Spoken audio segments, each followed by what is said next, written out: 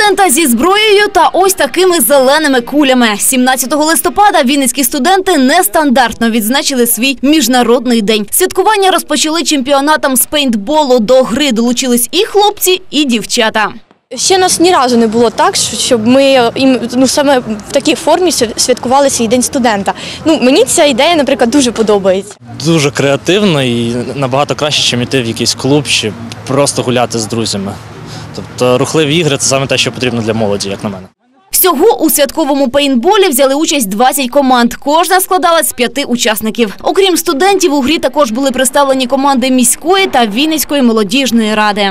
Навчальний заклад сам збирав команду і подавав нам команду у складі п'яти чоловік. Тобто вони самі в себе в навчальному закладі вирішували, хто буде приймати участь. Кожна команда в одному етапі грає з трьома командами.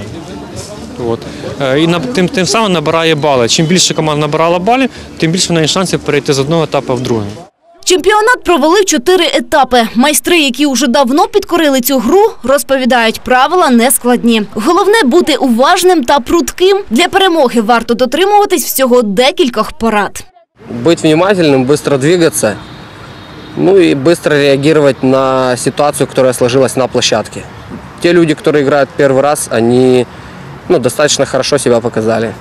Окрім гри з пейнтбольною зброєю, отримали можливість потримати в руках справжню бойову. Вінницькі студенти зустрілись з бійцями, які не просто граються військових, а насправді захищають нашу державу. Майстер-клас зі збору та експлуатації військової зброї для вінницьких студентів провели воїни АТО.